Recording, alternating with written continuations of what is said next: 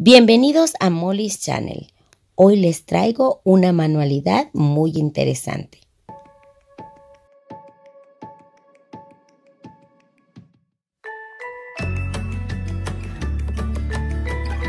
Amigos y amigas, esta es la manualidad que haremos hoy. Este florero rústico que está muy de moda, pero ¿saben qué? Yo no tengo la plata para comprarlo, así es que decidí hacerlo. Vean, y le puse un toque muy original, tiene hasta patitas. Y todo esto lo hice aquí en mi hogar y con materiales que tenía en casa. Así es que si tú quieres ver cómo lo hice, quédate a ver hasta el final y comparte el video para que otros también vean cómo lo hice. Te veo en el final. Esta manualidad es de materiales reciclados. Los dos materiales principales son botellas vacías y dos cajas. Una para cortarla en pedazos completamente y utilizar sus partes para fortalecer la otra caja.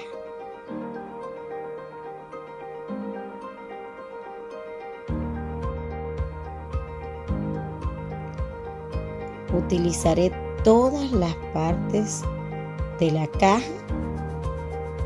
Vean, ahí las tengo y a la otra solo le voy a cortar las partes de arriba.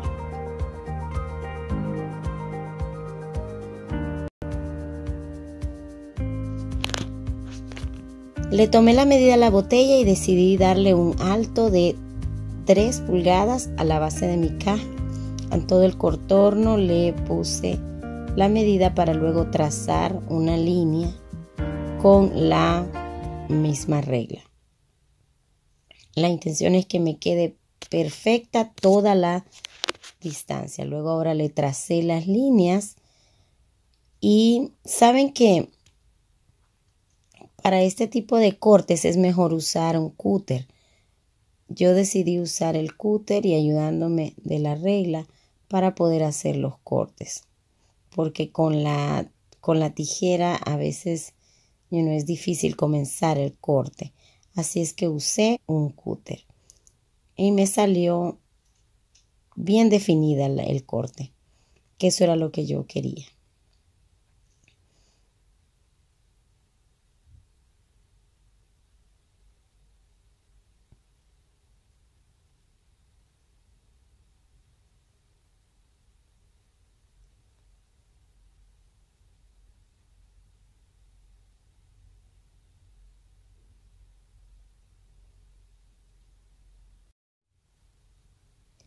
Las partes de la otra caja sirvieron para darle fuerza, así es que le, le di la medida, luego la corté todas las partes, las de los lados más largos y las de los lados más cortos, a todas le hice el mismo procedimiento. Porque la intención es de que la, que la base de esta manualidad quede bien dura y fuerte. Si tú quieres le puedes poner más, más capas. Yo solamente le puse una, ya que sobra bastante mm, cartón. Así es que lo que hice fue solamente ponerle una capa a cada lado. Vean ahí.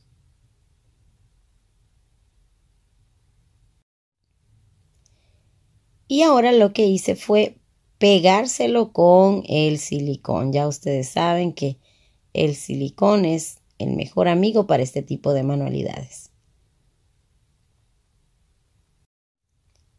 También estas partes que venían, eh, que eran como para sostener la luz que venía en estas cajitas, las usé y las puse en la base para así darle fuerza a la base de la caja. Vean, de esta forma puse las dos.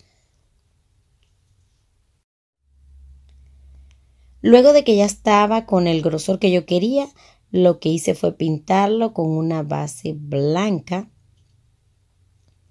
Y mientras se secaba, decidí ponerle otra parte de cartón en la parte de abajo, pero por fuera. Cuando ya se secó la primera capa, le puse otra capa y hasta cuando se secó completamente la segunda capa, entonces le puse esta parte en la parte de afuera, de abajo y así ya esta cajita quedó como que fuera un pedacito de madera bien fuerte.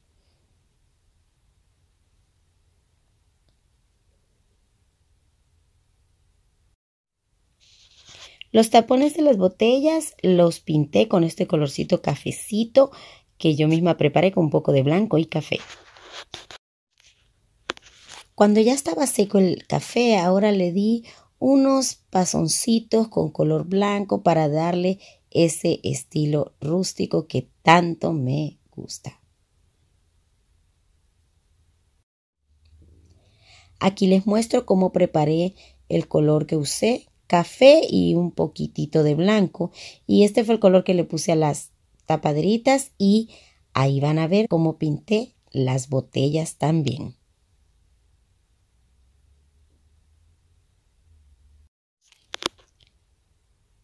Al estar seca ya la pintura café, le pasé pincelazos de pintura blanca a todas las botellas y esto es lo que le da ese aspecto rústico a, este, a esta manualidad. Vean allí, por ejemplo, estaba un poco peladito, así es que le puse un poquito de café y así fui formando esta manualidad rústica. A todas las botellas le hice lo mismo, vean. A mí realmente me gustó mucho el resultado y espero que a ti también, si eres amante de la decoración rústica, me dejes un comentario aquí abajito.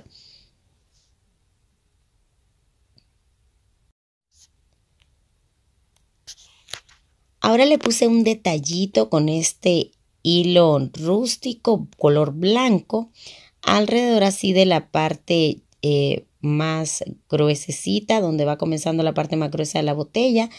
Le di más o menos unas cinco vueltas y créanme lo que cada vez que le iba dando las vueltecitas me iba gustando más cómo iba quedando.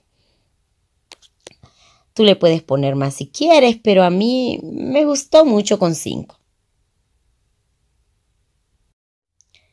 Ahora en la parte de arriba le voy a poner esta cinta rústica doblada para tapar la parte de la boquilla de la botella. Ahora le voy a poner un toquecito así amorosito a esta manualidad con estos corazoncitos, pero los voy a pintar de café. Y mientras estos corazoncitos se secan, voy a darle unos pincelacitos cafés a mi cajita y en las orillas le voy a dar bien así para que se vea el toque rústico que es mi debilidad.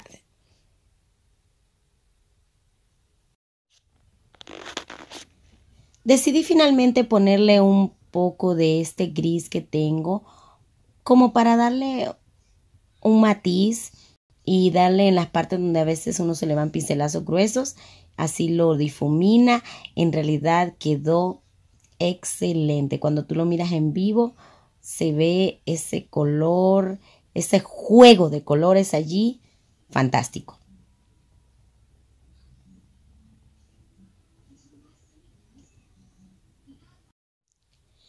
Me gustó mucho cómo quedó mi, mi, base con sus patitas y ya luego en la parte de arriba para taparle la parte de arriba usé esa cinta negra que ya tenía por ahí también. Es reciclada,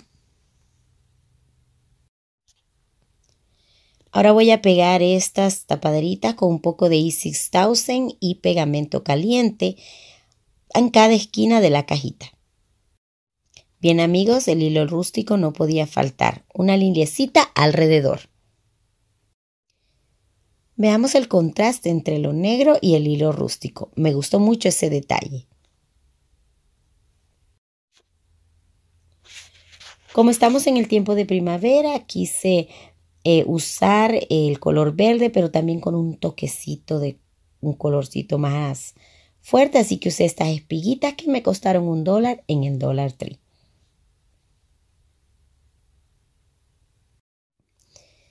Ahora le puse el corazoncito y luego voy a utilizar unas ramas que me sobraron de una manualidad que hice en Navidad. Si ya viste esos videos vas a reconocer esto. Bien, a, lo que estoy haciendo ahora es poniéndole unas líneas a mi cajita. Lo hice al cálculo, más o menos tres líneas hice. Bien, ahora con un Sharpie Marker le di, le tracé las líneas que había marcado y en el medio le fui pasando otras líneas para formar como pequeños ladrillitos. Y esto le dio un toque tan hermoso a esta manualidad que me quedé fascinada. Este es el resultado. Y ahora ponerle los floreros. Y miren a la polizonte allá atrás. Espero que te haya gustado mucho esta manualidad rústica y original. Y si te gustó, déjame tu like.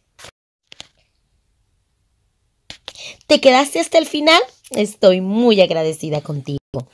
Sabes, este proyecto me fascina cómo quedó y lo que más me gusta fueron las patitas. Quedó muy original, quedó hermoso.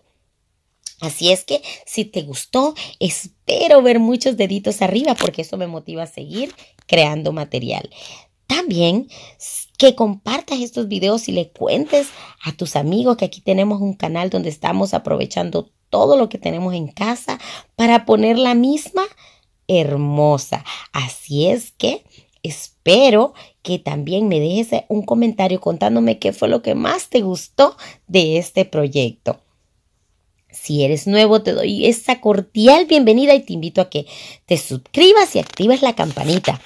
Y que no olvides seguir viendo los videos hasta el final porque siempre te doy un mensajito de lo que viene. Pronto viene otro video muy interesante acerca de reciclaje. Ya están los clips ahí, solo me hace falta editarlo, así que si quieres verlos, déjame esos comentarios porque así me apuro a terminarlos. Muchas gracias por haber estado aquí y les deseo muchas bendiciones. Hasta el próximo video, mis queridos. Bye bye.